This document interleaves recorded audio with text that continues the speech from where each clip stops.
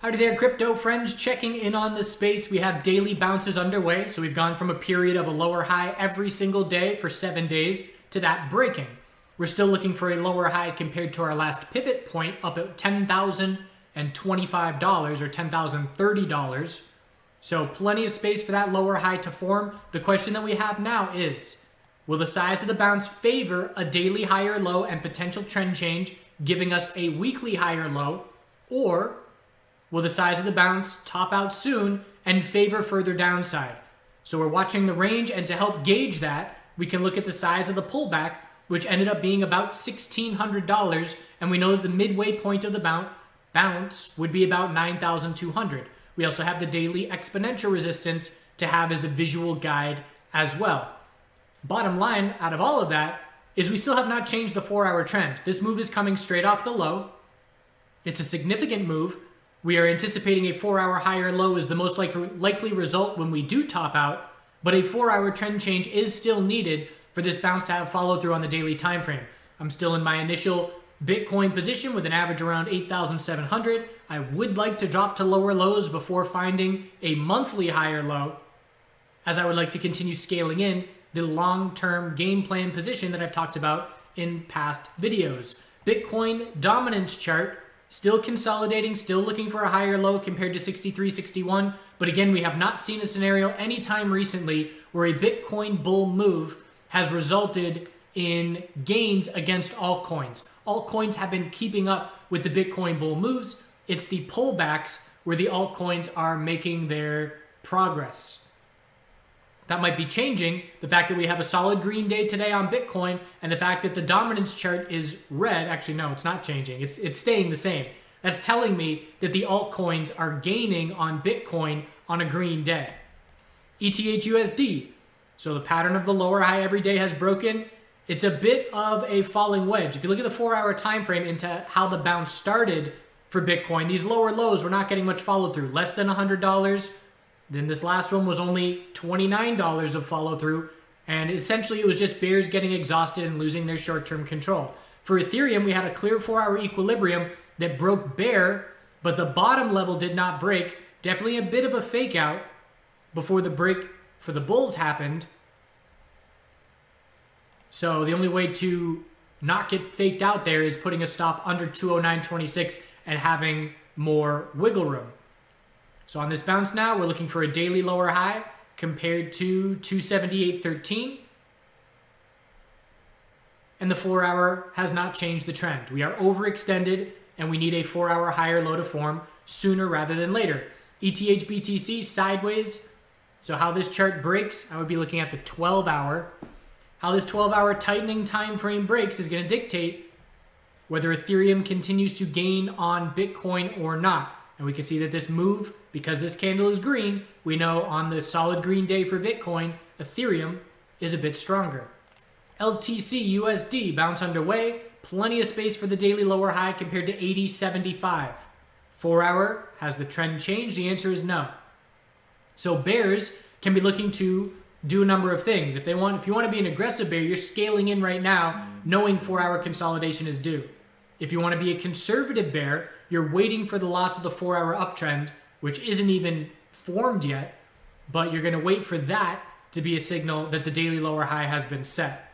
XRP, bounce anything under 285.55 is just a lower high on the daily time frame.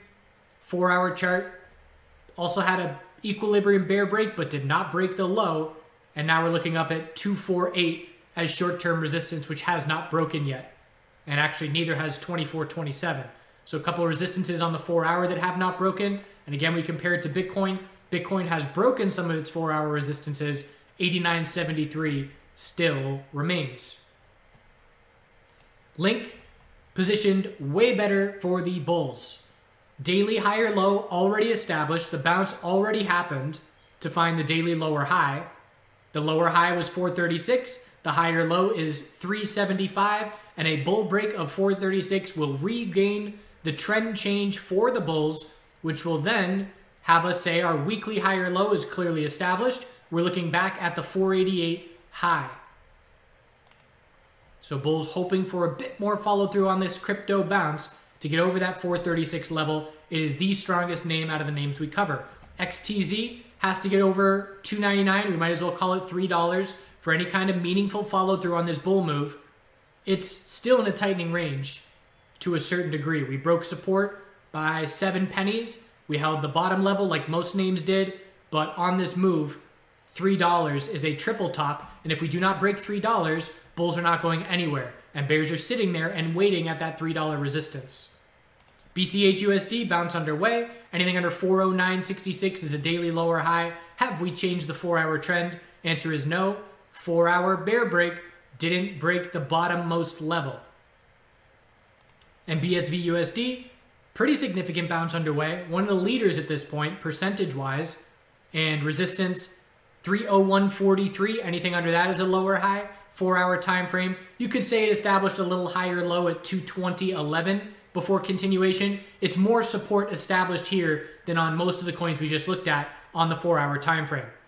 So overall, four hour consolidation likely due in the near term future. There is a bit of correlation between Bitcoin and the broader S&P 500 right now, but it's not enough for me to be paying significant attention. I have to see that correlation in both directions for a bit more significant time frame in order to say that that is the case. So keeping an eye out for 4-hour consolidation, the question will be, can it be a bull flag? Is it going to be a significant pullback that then has us looking for an equilibrium? So the kind of consolidation we see tells us what's most likely from there. Either a bull flag favoring continuation of the bounce on the daily chart, or the pullback is significant enough to then be anticipating a four-hour tightening range into middle of this week. So we'll take it one day at a time as always. The daily downtrend is the prevailing shorter term trend to be watching at this point. And again, the size of the bounce is going to dictate what is the most likely scenario daily trend change or lower high and lower lows. We'll continue to check back in. Hope you had a good weekend. And we'll end it here with a little nature story. So yesterday out planting some more seedlings in trays, keeping them inside for now, but broccoli, cauliflower, I already did tomatoes and flowers and cabbage and all that good stuff and the geese are back. So we have the two ducks that are back, and they're here every day now. And seven of the geese returned, and they grew up here last year. They left a little bit sooner, but it was a family of five babies and two adults, and they're all back. Not sure if they're going to breed again or what, because it's going to get crowded quick. But they were all in the pond, and I left out the front door, and I looked down the pond, and I saw the ducks and the geese all really close together. I thought that's strange. And then I saw they were all looking in the same direction. And this was middle of the day, about noon, and there was a brown fox. I thought it was a small dog at first, but there was a fox walking around the edge of the pond, and it made its way like it wanted to get into the pond. There was no chance it was going to get any of these animals, and the geese all started, as the fox started to try and make his way to water's edge, the geese started to square up against him and let him know that that wasn't going to fly. So, first time I've seen a fox on the property, and a very interesting dynamic. The geese and the ducks get along really well. They definitely hang out with each other and let each other get close and don't mind each other. So we'll see how the family unit develops from here. Do good things.